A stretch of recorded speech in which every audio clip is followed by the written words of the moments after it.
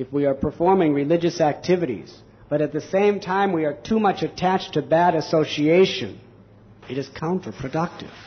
Srila Bhakti Siddhanta Saraswati Thakur told a little story of a father who was a landlord and he was addicted to smoking cigarettes and taking intoxications. He had one son, and like father, like son, the, the child is naturally influenced by the activities of the father. So from a young age, he started smoking cigarettes and taking intoxications. It's natural.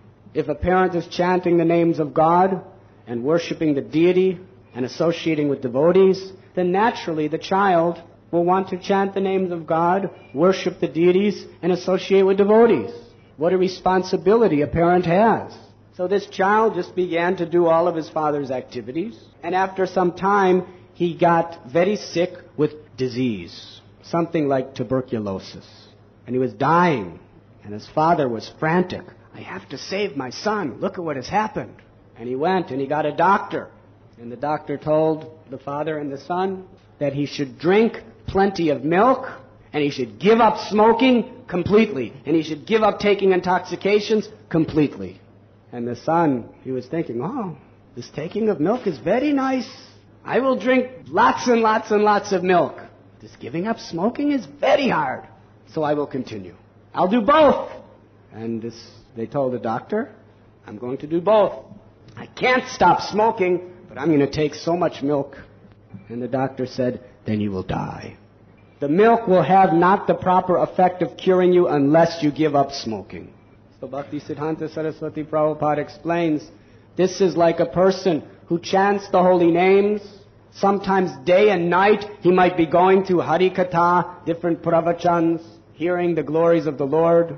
But as long as he's attached to unholy association, materialistic people's association, and as long as he's attached to doing those materialistic things that bring sense enjoyment, he makes very little or no progress at all.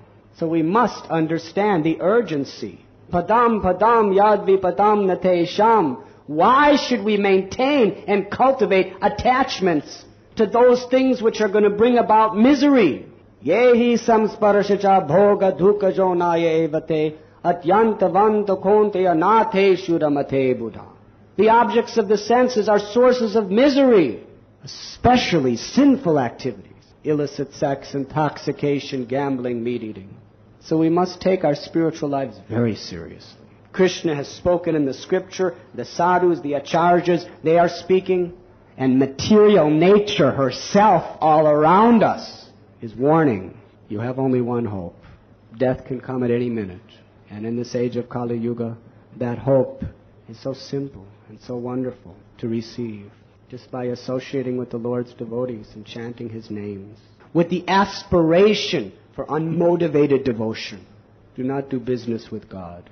Become His servant. Serve Him to please Him by being the servant of the servant of the servant. You were listening to Radhanath Swami on devotionalnectar.com.